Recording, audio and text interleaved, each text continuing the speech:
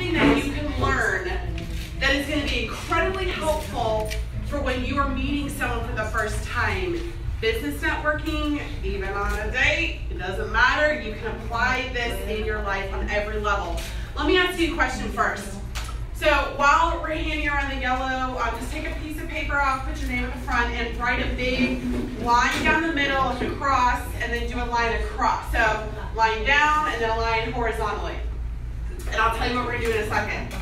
So raise your hands if you've ever been in a situation, whether you're at networking or any type of public environment where you meet someone and you feel incredibly awkward. Like there is like, you can cut it in the air. There's like no rapport.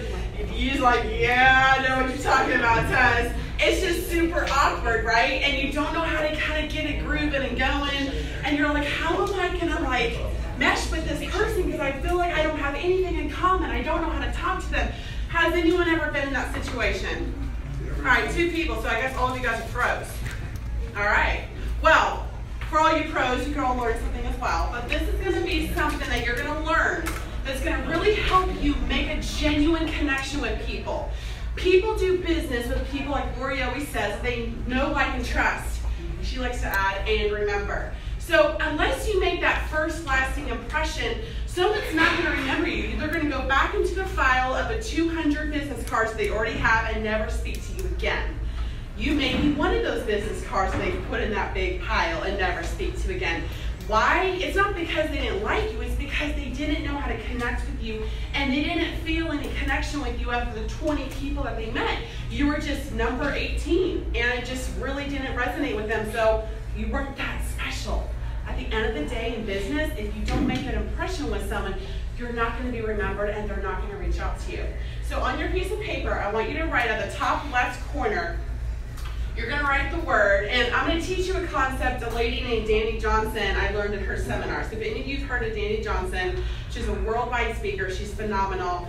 I've gone to a lot of her seminars, and this is a personality thing that will help you so much. So top left corner, you're going to write the word sapphire. Okay, so think of that green, beautiful gem. Next to it, on the other little square, you're going to write the word pearl. Everyone loves a pretty pearl, right? Down below, right below the pearl, you're going to write the word emerald. Yes, we're all talking about jewels today. Are we? Yes, right below it. So in the the bottom, square, yes, the square below. Now to the adjacent left side, so the last square, you're going to write ruby. So it's four. So it's like a it's like a cross on your piece of paper. So the top left, you're going to write sapphire. The top right, you're going to write pearl. Top right bottom, you're going to write ruby. And the top or the bottom left, you're going to write emerald. Okay? Make sense? Yeah. Cool? All right. I think I got it backwards. Bottom right is what?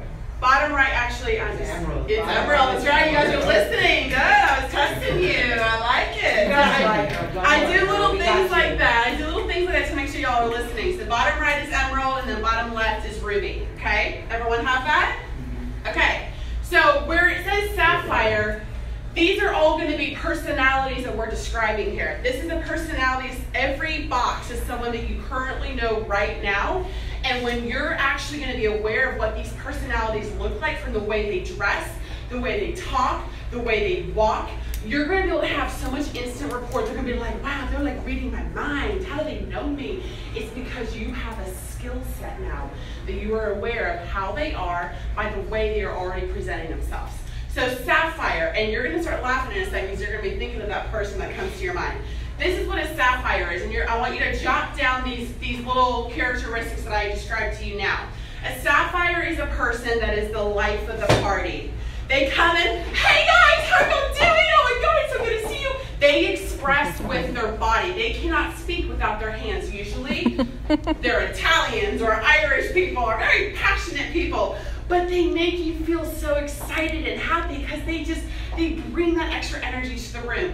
They also love things that sparkle. So this beautiful lady's shirt right here, sparklies. They love sparklies because and oh, her shirt too because it's just the way we express ourselves. Got Laurie got some fun little dazzling jewelry. It's a way that we express who we are and how we feel in the moment.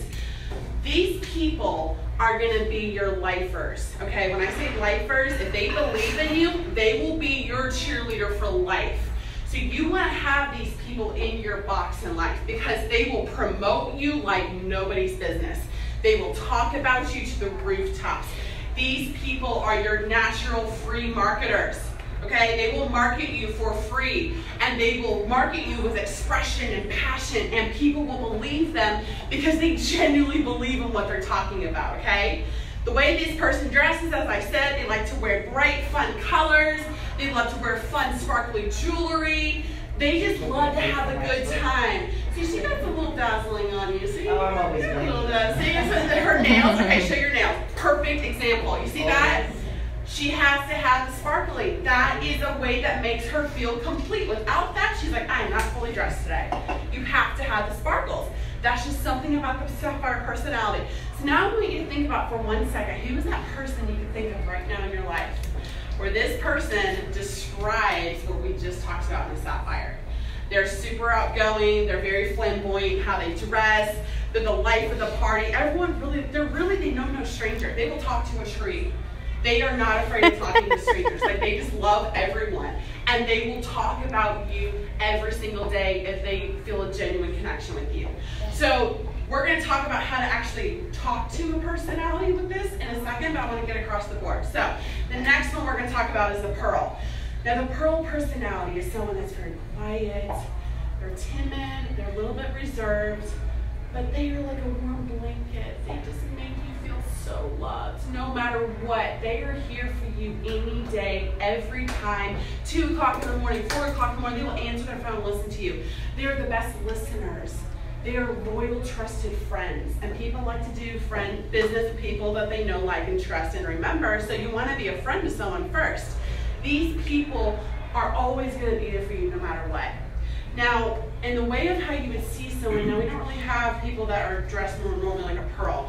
A pearl are people that like to dress with very organic type clothing, so very loose sleeve, um, very just flowy, very earthy, organic. They don't like to use any dyes or chemicals. They're very, just very healthy type people, okay? So maybe you can see kind of like a hippie look person. They kind of have all like the, the boho look. These people are just very laid back, but when you come across them very aggressive, they will close up like a shell. So they have to feel like it's a safe environment when you talk to them. You're going to be able to tell in a second how a pearl talks, but the way you can see them with their personality is they're a little bit reserved, they're a little bit quieter, but they're very, they're listening to you, they're giving you your full attention. Okay, so now we're going to go down to the right corner, the bottom right, which is root, uh, emerald. Okay, so these are your engineers. These are your doctors. These are your research people. These are the black and white. Everything has a purpose. Everything has a place. These people read directions from top to bottom. They follow the rules because rules are made to be followed, not broken. They don't understand the sapphires, by the way. They're complete opposites. They're like, what are they doing? Like, they have no idea how these sapphires even came into this planet. They are so confused by them because these sapphires over here are so free flowing. Emeralds are everything structured to the T. They normally like to wear blacks, whites, gray, neutral colors. If you go in their closet, that's all about you're going to see. It's blacks, grays, neutral colors.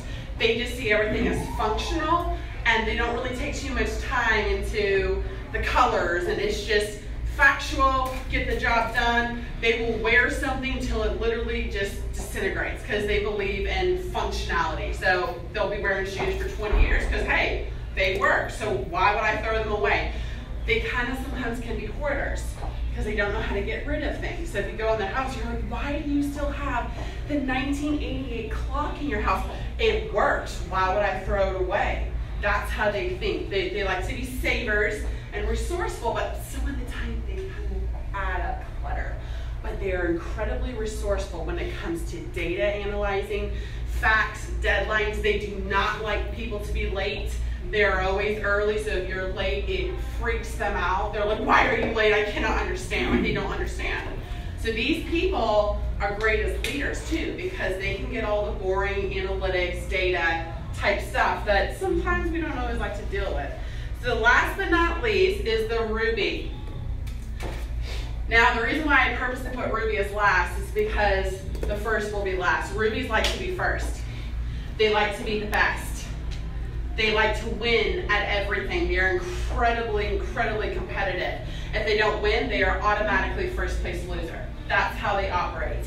They like to wear the best of the best. You will see them from head to toe, probably in Gucci or Prada. They like name brands, not just because they're materialistic, but they believe in high quality.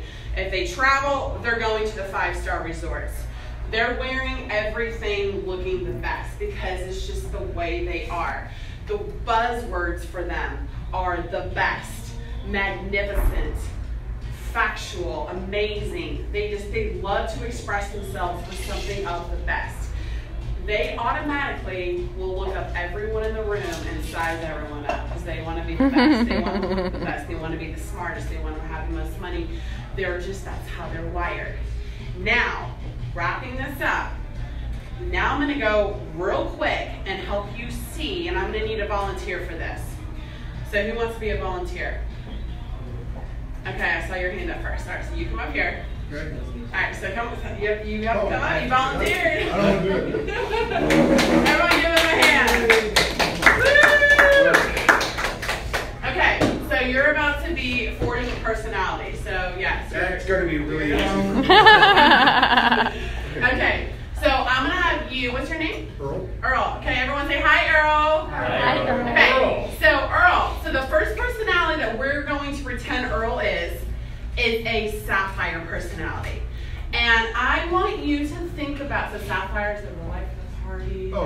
Expressive, they're like blah, blah, blah, blah.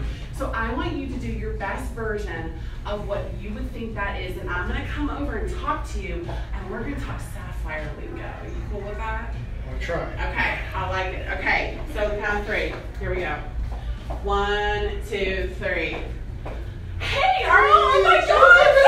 Oh my gosh! I know. It's because your you kids. got up to? Oh my gosh! You have no idea. Your kids have gotten so big. Oh, I know. Oh it's Oh my gosh, amazing. it's They keep amazing. me going a million miles an hour. Oh, oh my gosh! And how Susie, how's she doing? This is hard for Great. me. You're doing fabulous. Now pause, pause, real quick. Did you notice what did Earl instantly do? Hug. That is exactly what a sapphire will do. This is too cordial. Now we're going all in, baby. We're going all in. That is how we express, right? Okay, you did fabulous, by the way. Okay, now Pearl. We're gonna go to the next real quick. Pearl. Remember, Pearl is quiet, introvert. Don't get in my Pearl personal space. We're gonna be very kumbaya in a moment, okay? All right. Three. One, two, three. Hi.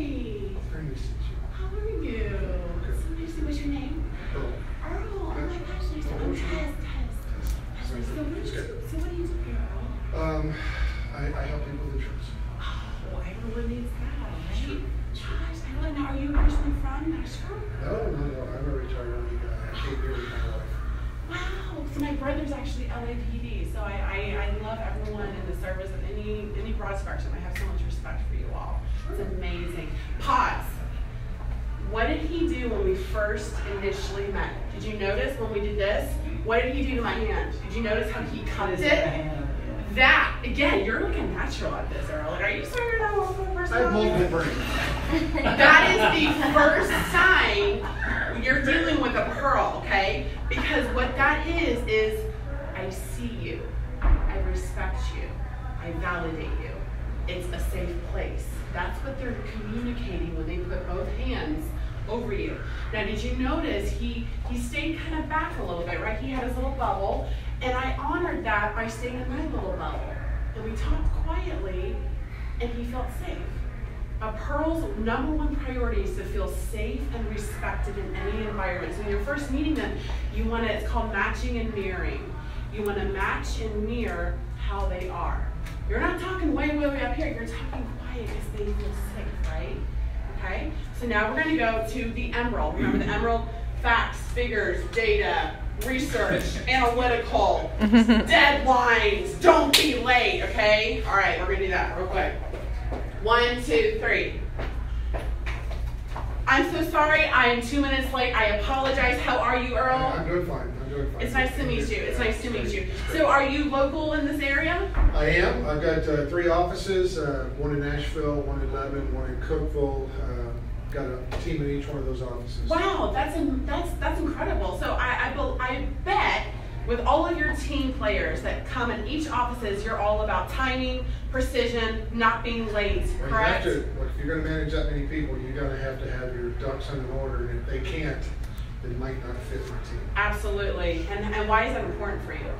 Well, we have a lot of responsibility, so if you've got a lot of responsibility and you have so, just so many hours in a day, you gotta, gotta have to, Absolutely. Do what you gotta do, right? Time is money, right? We don't want to waste money. I love it. Pause. Again, when you when I came up to him, did you notice how when he shook my hand, it even had a rhythm to it? Everything is structured and ordered and rhythmic because they even when it comes to music, they love rock music. Why? Because rock has the same repetitive dun dun dun dun dun. We, they did this at the seminar. It was hilarious. They put on a rock song and they all stood up. They don't know how to dance. No offense, if you're, if you're they, they just don't know how to. They're all so they're getting up, standing. They're like, it was hilarious. But these people are about rhythm, structure, order. They don't like people to be late. They like everyone to be accountable to what they're doing. Okay, last but not least, we're going to do the Ruby. The Ruby is the go-getter, overachiever. I have to be first. I cannot lose. I am the best. Cool? All right. One, two, three. Hey, how are you? Hi, what's your name? My name's Earl, what's your name? Earl Tess. Nice Oh, to meet how- you. How long you been doing this? I have been here for six years now. Yeah. Yeah, how'd you get into yeah. this? You know, I've always had a passion to really help people with this little things in life that could really give them a huge lasting result when it comes Oh, to their. exactly You know talking what about. I do exactly the same thing. I Yeah. got into this about five years ago, and it's really been a, a real change in my life. I've, you know, been able to really achieve some great, great things with this company. Absolutely, I love that. Pause. What was he doing in the very beginning when we came up? Did you notice? Uh, He was analyzing me. He was sizing me up. Okay, what am I dealing with? Okay, I'm a 10, so they're going to make sure I'm a 10 right away. Did you notice when he talked? He wasn't really listening. He was mowing over me. Now, this is what I do. Hear me over here. I do this. This is what I'm doing. He had to prove himself that he's better than me. It's, it's nothing personal. It's the way they're wired. So when you want to, and, and, and they don't mean wrong here, they mean well. They're just so wired to win. So the way you build actual rapport with them is you want them to think that they're the best. So you ask them the questions the whole time, which actually means that you're the one in control. And they will talk, talk, talk. They love talking about themselves. At the end of that conversation, they're gonna be like, wow, I really like this person, even though you had nothing to say. You asked them questions the whole time, but they gotta talk this whole the whole time. And guess what's gonna happen? They're gonna like you. They're gonna want to do business with you. They're gonna have that natural rapport with you. So Earl, you can go and sit back down. Thank everyone give a little clap for Earl. So guys, in conclusion today, I know this was kind of a lot but different, but we all have these personalities in us. Later on today, I want you to look at these four different quadrants and see what is my top dominant, because we all have two top dominants. What's my top dominant and what's my secondary? And how do I use that in my relationships at home, with my spouse, with my children, with my coworkers? Because if you start really taking this to heart, you're going to start noticing the people that you work with and you're around which one they are. And you're going to learn how to kind of do the matching and mirroring. You're going to learn how to speak their language. The more you learn how to speak someone's language, the more they're going to want to be around you. They're, they're going to want to refer you. They're going to talk about you. They're to put you on the pedestal. So keep this in mind. It's really to be helpful for you. Thank you guys so much. All right?